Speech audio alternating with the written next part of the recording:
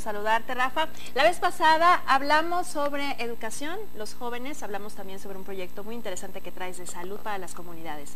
Toca hablar del desarrollo económico para el Estado, que obviamente está ligado con el trabajo, ¿no? Efectivamente, mira, tú sabes, la principal demanda de los zacatecanos en este momento, Lili, es el empleo. Quieren trabajo quieren oportunidades para crecer, para desarrollarse, pero desafortunadamente en Zacatecas no lo hay o es un mercado muy, muy pequeño.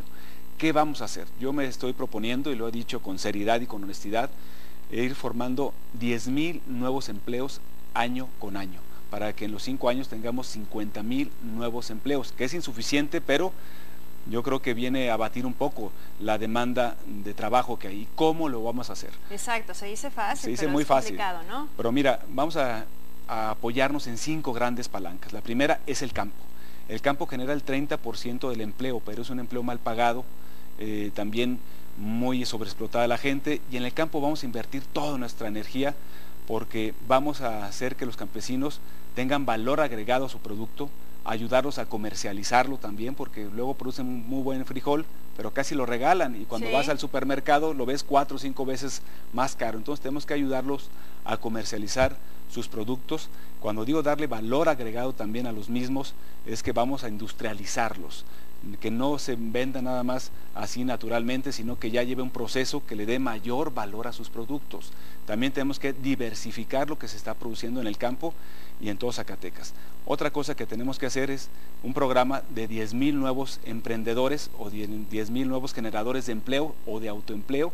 Vamos a destinar un recurso precisamente para que jóvenes, mujeres o cualquier persona pueda acceder a él y generar más emprendedores. En Zacatecas tan solo tenemos 29 mil emprendedores, son muy pocos para un millón y medio de habitantes. Gente que quiere aprender algo, hacer algo por, con sus propias Los vamos a capacitar y a darles el dinero para que una vez que aprendió pueda echar a andar su negocio. Y no dependa de otros. Así es, así es. Y también tenemos que apoyarnos mucho con los migrantes exitosos que tenemos, que hay muchos en Estados Unidos que quieren volver a invertir en su pero pero dicen, ¿cómo? ¿Cómo, le, hago? si no tengo nada allá? Vamos a crear precisamente un paquete de propuestas para que puedan invertir en el campo, en turismo o en los servicios y ayudarlos a que puedan bajar esos dólares que tanto necesita la economía zacatecana. Por otro lado, vamos a seguir impulsando que vengan empresas nacionales y extranjeras, pero no cualquier tipo de empresa, sino empresas que paguen bien, que le dejen un valor agregado a Zacatecas, que no vengan únicamente a explotar la mano de obra, sino que también dejen capacidades, dejen nuevas ideas y proyectos para que se eh, elaboren cadenas productivas y generen mayor recurso para Zacatecas. Muy bien.